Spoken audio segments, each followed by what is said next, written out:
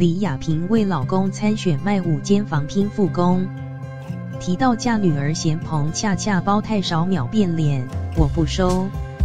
近日立委补选开放登记，上次民进党竞选失利，身为新北市党部主委的于天，也宣布辞去主委一职以示负责。不过他随即表示要参选立委。让老婆李亚平和儿子于祥全好傻眼，直呼家当都要卖光了还要参选。今天十七日早上，他登记参选补选立委。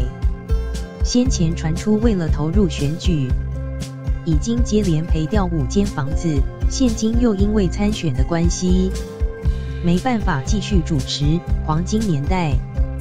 让老婆超不爽，不过为了养家，还是出来代班，当场呛声：“老公没选上就要去公园找我了。”据《自由时报》报道，于天出道的早，加上老婆李亚平更是秀场主持天后，多年来赚了不少钱。孰料老公近几年投入选举，已经卖掉五间房子，让她相当有意见。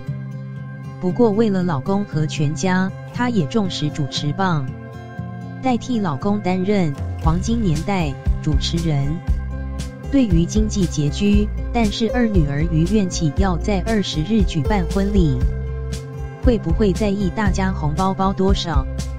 吓得在一旁的王彩桦赶紧说：“于大哥这么照顾我，而且包太少，怕他会在节目上讲啦。”保证一定会包出五位数大礼。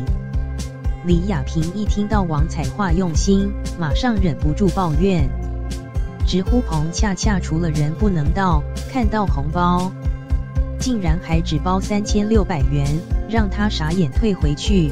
揶揄：彭恰恰红包包三千六百元，我会退给他，不来就不要包，谢谢。